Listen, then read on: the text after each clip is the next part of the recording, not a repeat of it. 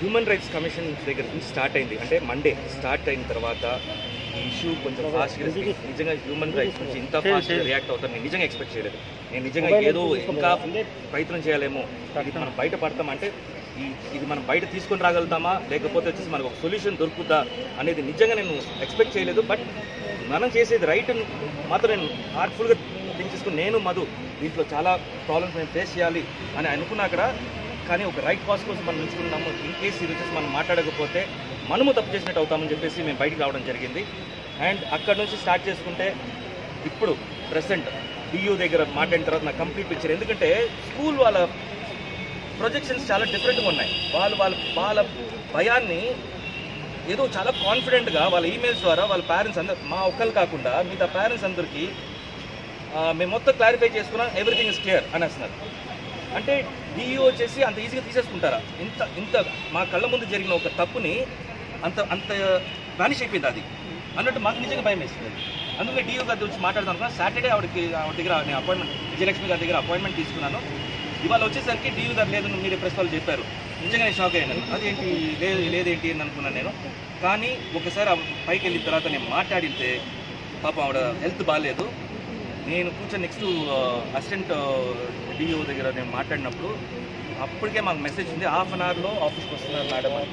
నిజంగా వచ్చిన తర్వాత మన అసిస్టెంట్ డిఓ కానీ ఆవిడ కూడా మాట్లాడింది నాకు. ఒకే ఒకటి మాత్రం నాకు అనిపిస్తుంది.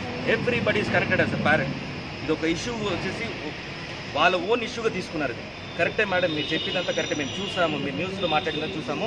ఇవి జరుగుతున్నాయి కానీ మా అక్కడ కొన్ని పవర్స్ ఉన్నాయి. దాన్ని పెట్టే మేము వెళ్ళగలుగుతాం.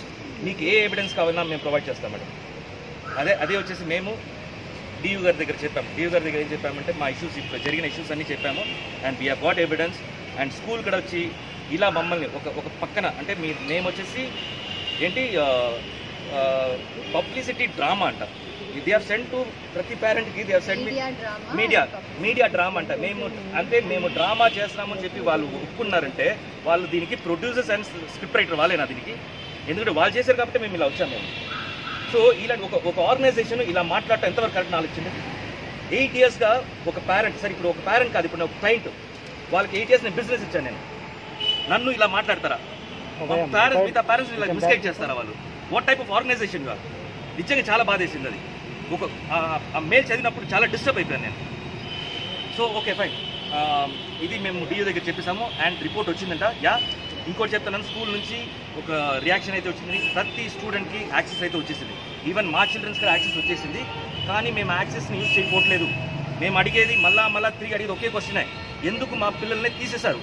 ఫస్ట్ దానికి ఆన్సర్ చేసిన తర్వాత మేము ఆ స్కూల్లో కంటిన్యూ చేస్తామా లేదా అని నేను డిసైడ్ చేస్తాను ఎందుకంటే మీ ఇష్టం అది. ఎప్పుడు పడితే అప్పుడు తీసేస్తారు ఎప్పుడు పడితే అప్పుడు పెట్టుకుంటారా మీరు? ఒక పేరెంట్ వాల్యూ రా మీరు. సో ఇది దీన్ని నేను వదలట్లేదు నేను ఇంకా ముందుకు వెళ్ళిపోతున్నాను సో మళ్ళా మా క్వశ్చన్స్ రేస్ చేశాం. నా క్వశ్చన్స్ రేస్ చేశాను దానికి డిఓ గారు వచ్చేసి మళ్ళా స్కూల్ పంపిస్తున్నారు. ఇన్ కేస్ అక్కడ తేడా జరిగితే మాత్రం the license is going be cancelled